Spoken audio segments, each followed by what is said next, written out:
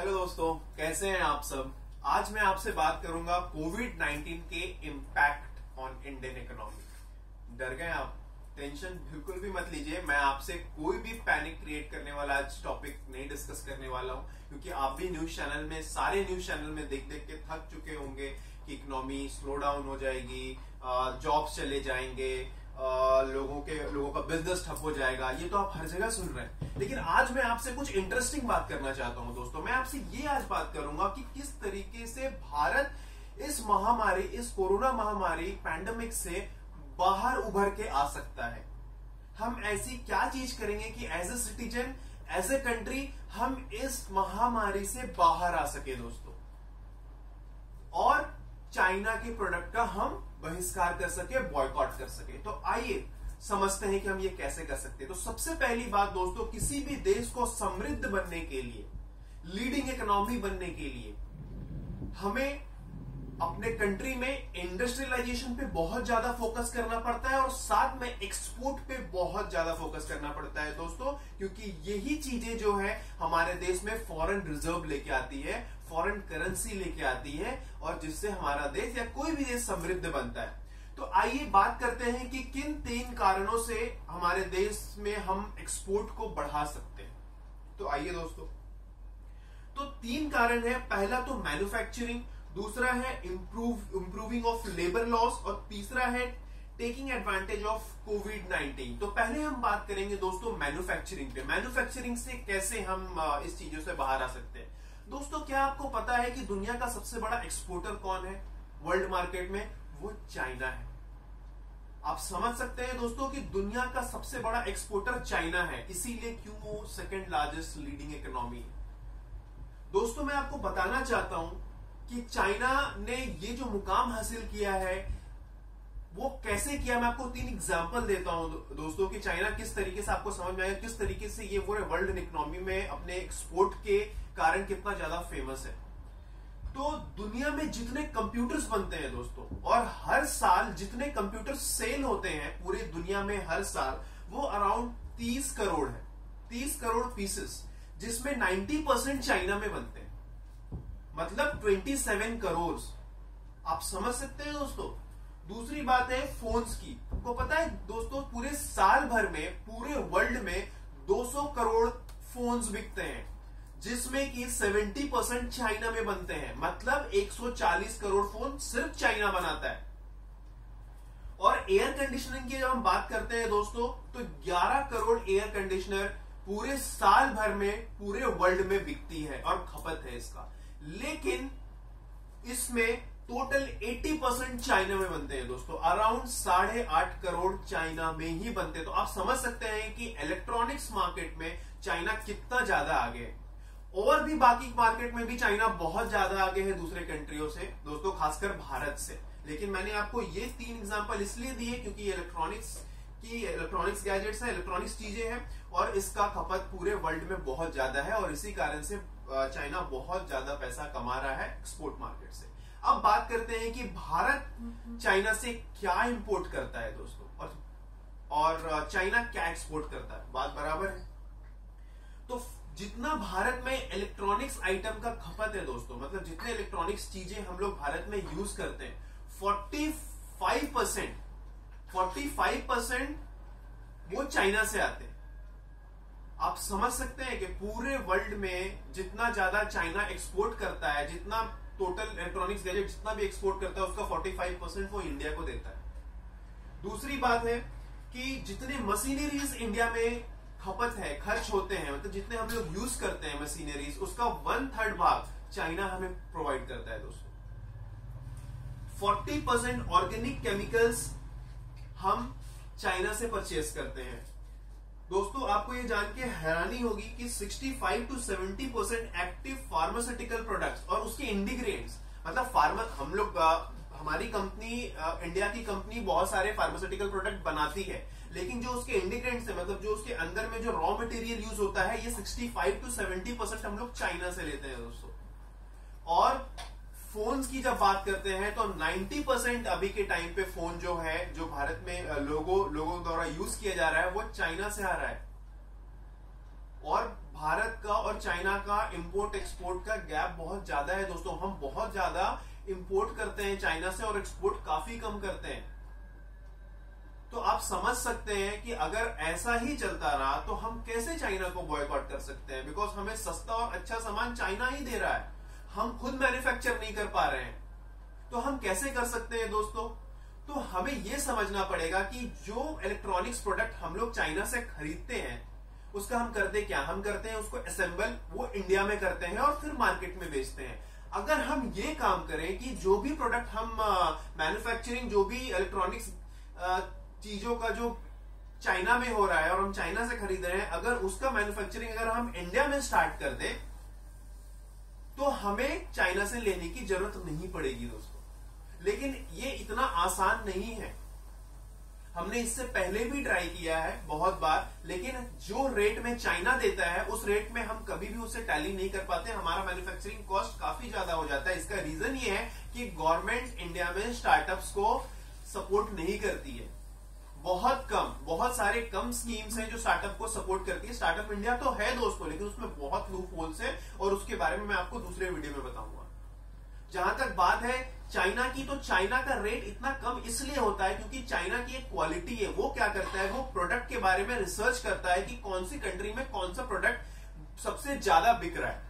और world market में कौन सा प्रोडक्ट लोगों के द्वारा ज़्यादा लिया जा रहा और उस प्रोडक्ट के रिसर्च करके वो पता ये पता ये लगाता है कि इसका प्राइस क्या है वर्ल्ड मार्केट में। और फिर वो ये सोचता है कि इसका प्राइस मैं कम कैसे करता हूँ, कर सकता हूँ।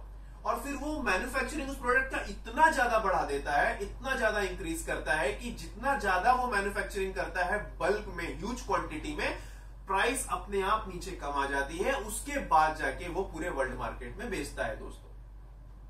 आपको पता है जो प्रेसिडेंट है चाइना की, वो कभी भी बाहर जाते हैं किसी दूसरी कंट्री में तो वहाँ के ऑन्टरप्रेनर और वहाँ के वहाँ के चाइना के बिजनेसमैन के ऑन बिहाफ में डील वो क्लोज करके आते हैं, वो बात करके आते हैं।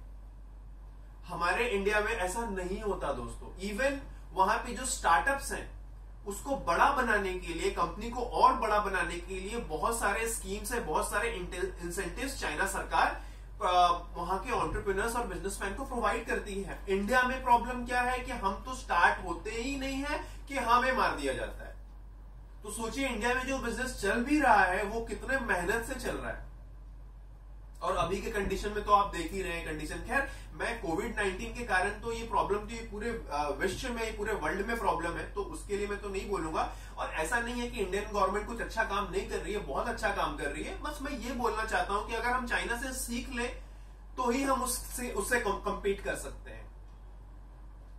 तो दोस्तों, इस तरीके से अगर हम अपने घर पे ही, अपने इंडिया में ही अगर मैन्युफैक्चरिंग खुद से करें खुद प्रोडक्शन उसको ज़्यादा बढ़ाए गवर्नमेंट सपोर्ट करे इंसेंटिव दे तो क्या है कि हम दूसरे कंट्री को भी कन्विंस कर सकते हैं कि वो मेक इन इंडिया के इनिशिएटिव के तहत हमारे यहाँ पे इन्वेस्ट करें, ताकि यहाँ पे इंप्लॉयमेंट जनरेट हो अनएम्प्लॉयमेंट का प्रॉब्लम सॉल्व हो प्लस हमारे जो ऑन्टरप्रिनर है, उनको भी हम सपोर्ट करें, ताकि वो खुद की भी इंडस्ट्री डाल सके, और बाहर से हमें चीज़ें मंगाने की ज़रूरत ना पड़े इंप्लॉयमेंट बढ़े प्लस हमें ये भी सोचना होगा कि सिर्फ़ हम अपने खपत के लिए नहीं करें। हम इस तरीके से उस इतने क्वांटिटी में हम लोग मैन्युफैक्चर करें ताकि हम उसको एक्सपोर्ट भी कर पाए। ताकि एक्सपोर्ट बढ़ेगा तो ही फॉरेन रिज़र्व आएगा और हम लीडिंग इकोनॉमी बन पाएँगे और हम यूएस और चाइना जैसे मार्केट से कंपीट कर पाएँगे दोस्तों। दूसरी बात मैं आपको बताना चाहता हूँ कि जो इंडिया का लेबर लॉ है, ये अगर हम थोड़ा इनहेंस करें, मैं आपको एग्जांपल देता हूँ दोस्तों कि मैं ये बात क्यों कर रहा हूँ।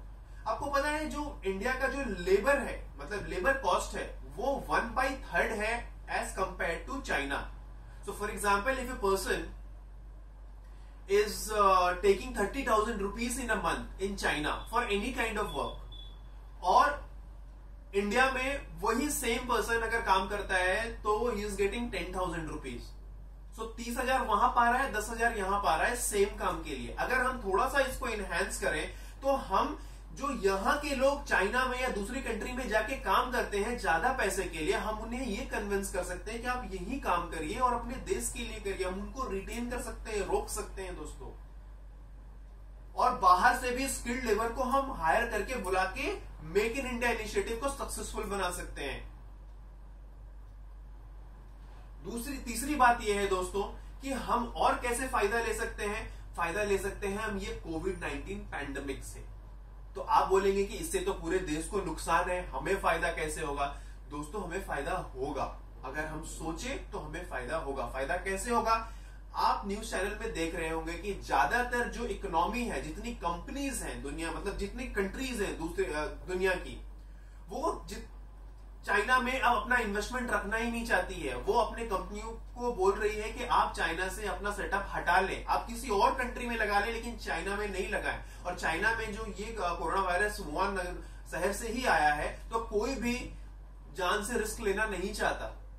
और इस सिचुएशन का अगर हम फ़ायदा उठाएँ, क्योंकि दूसरी इकोनॉमी जो है, वो चाइना के और मतलब चाइना को हटा के कोई उसका ऑल्टरनेटिव ढूंढ रही है और अगर हम वैसे इकोनॉमी को कन्विंस करने के लिए कन्विंस कर लेते हैं कि आप यहाँ पे आके अपना सेटअप लगाएँ मेक इन इंडिया के तहत, या तो फिर जो प्रोडक्ट वो चाइना से ले रहे हैं, अगर हम खुद मैन्युफैक्चर करके उनको दे पाए तो ये हमारे लिए, हमारी इकोनॉमी के लिए बहुत बूस्ट होगा दोस्तों। और ये चांसेस अभी के टाइम पे बहुत अच्छा है, हमारा एक्सपोर्ट मार्केट बहुत ज़्यादा बढ़ सकता है इस सिचुएशन में, क्योंकि चाइना का मार्केट काफ़ी डाउन होने वाला है एज कंपेयर टू चाइना पहले था। और इस सिचुएशन का हमने फ़ायदा नहीं उठाया तो और हम कभी नहीं उठा पाएँगे दोस्तों।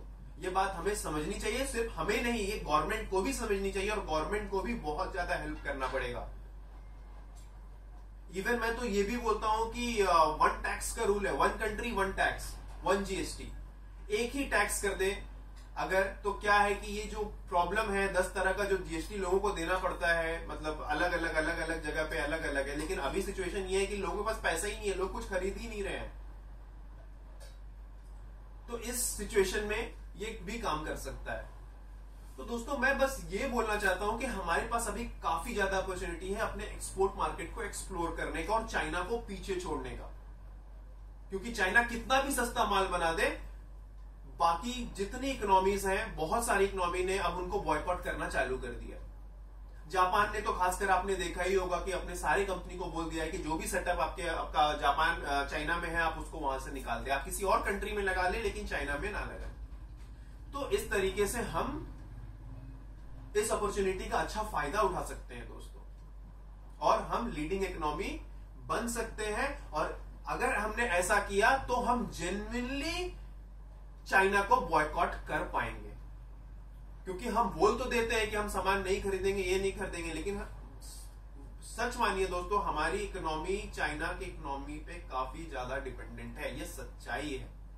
और अगर हमने अपने एक्सपोर्ट मार्केट को नहीं बढ़ाया कोविड 19 का जो सिचुएशन है, उस पर अगर उसका फ़ायदा नहीं उठाया तो आने वाले दिनों में हमें और ज़्यादा प्रॉब्लम का सामना करना पड़ सकता है, क्योंकि चाइना की इकोनॉमी का हालत बहुत ज़्यादा भी खराब होने वाला है। Even IMF Indian monetary fund ने ये प्रोजेक्ट किया है कि आने वाले दिनों में टोटल 170 जो कंट्री है, की जो इकोनॉमी है, वो नेगेटिव में जाने वाली है।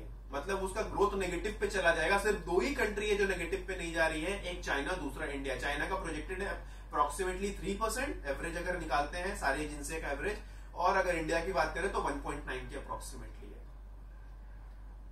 सो so, दोस्तों आशा करता हूँ कि आपको मेरा वीडियो पसंद आया होगा। अगर आपका आप कुछ भी और मुझे कुछ आपके पास डाउट है या फिर अगर आप कुछ भी कमेंट करना चाहते हैं तो आप कमेंट कर सकते हैं कमेंट सेक्शन में। थैंक यू सो मच मैं फिर आऊँगा आपके पास किसी नए वीडियो के साथ। Thank you